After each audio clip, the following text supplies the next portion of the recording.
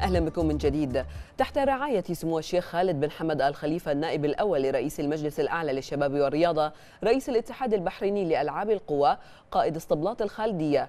أقيمت بطولة سموه للقدرة بقرية البحرين للقدرة صباح اليوم والتي شهد مشاركة واسعة ومنافسات مثيرة حتى المرحلة الأخيرة.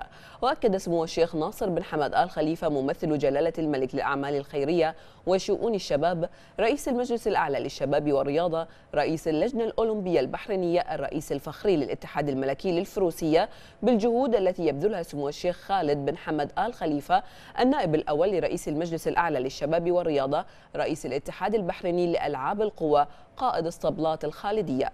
في دعم رياضة القدرة ورعاية سموه الكريمة لهذه البطولة التي حققت نجاحا كبيرا على جميع المستويات وهنأ سمو الشيخ ناصر بن حمد آل خليفة الفرسان الفائزين بالمراكز الثلاثة ومتمنيا لجميع الفرسان والاسطبلات كل التوفيق في بطولات وسباقات موسم الاتحاد الملكي للفروسية وسباقات القدرة.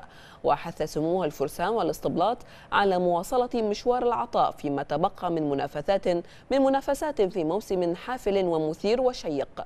وأثنى سموه على الجهود التي بذلها الاتحاد الملكي للفروسية وسباقات القدرة برئاسة سمو الشيخ فيصل بن راشد آل خليفة نائب رئيس المجلس الأعلى للبيئة وجميع الأعضاء واللجان العاملة في تحقيق أعلى درجات النجاح للبطولة بما يلقى بمكانة وسمعة أو بما يلقي بمكانة وسمعة رياضة القدرة البحرينية. وحقق لقب بطولة سموه ضمن التدريب العام لسباق العموم لمسافة 120 كيلومترا. الفارس الشيخ إبراهيم بن محمد آل خليفة من اسطبل الزعيم.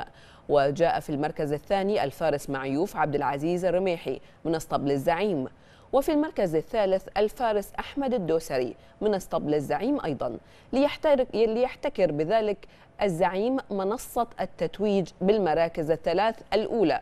مؤكدين جدارتهم وكفاءتهم وإمكانياتهم العالية. واستعداداتهم الرفيعة لهذه البطولة. أما على مستوى منافسات فئة الاسطبلات فقد تمكن الفارس محمد الخاطري من اسطبل الأصايل من تحقيق المركز الأول متفوقا على جميع منافسيه ومنهيا مراحل السباق الأربع بالمركز الأول تاركا للمركز الثاني للفارس خالد إبراهيم خيري من اسطبل الشيخ محمد بن مبارك آل خليفة والمركز الثالث لفارس اسطبل الأصايل جاسم خليفة المعمري.